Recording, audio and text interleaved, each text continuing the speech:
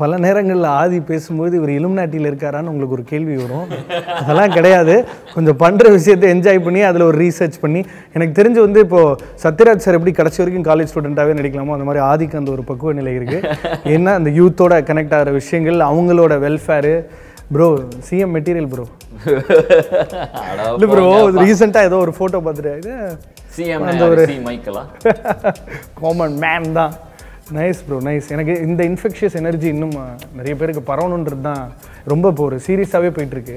But அப்படியே கொஞ்சம் light ஹார்ட்டடாக அப்படியே கொஞ்சம் ஜாலியாக இப்போ உங்களோட பாடல்கள் வந்து இப்போ ஃபார் எக்ஸாம்பிள் காதலில் ஈடுபட்டு கொஞ்சம் அந்த பிரிவை சந்திக்கிறவங்களுக்கு ஒரு ஊக்கமாக இருக்கலாம்.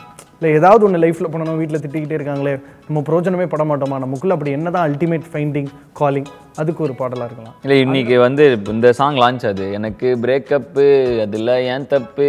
எதுவும் இல்லைன்னாலே என்ன வில்லன்னாலே எனக்கு சாக்கச்சு அதில் ஆட் வச்சு கருகி போயிடுச்சு. அட போடாங்கொய்யாலே எக்ஸ்க்ளூசிவா சும்மா ஒரு வைப் சூப்பர் உலகத்துக்கு முதல் முறையாக ஆமாம் ஸ்பாட்லைட் சார்பில் ஹிப்ஹாப் தமிழா? ஸோ இந்த ஒரு பாட்டு தான் இன்னைக்கு ரிலீஸ் ஆகுது. ஸோ இந்த வைப்பில் இருக்கேன். ப்ரோ அப்படின்னு இல்லை. எல்லாத்துக்கும் எல்லா இதுக்கும் பாட்டு போட வேண்டியதான் மியூசிக்குங்கிறது அதுதானே. அதுக்கு மொழி தேவையில்லை. மொழி இருந்தால் இன்னும் பெட்டர் ஒரு அந்தந்த ஆளுங்களுக்கு கனெக்ட் ஆகும்.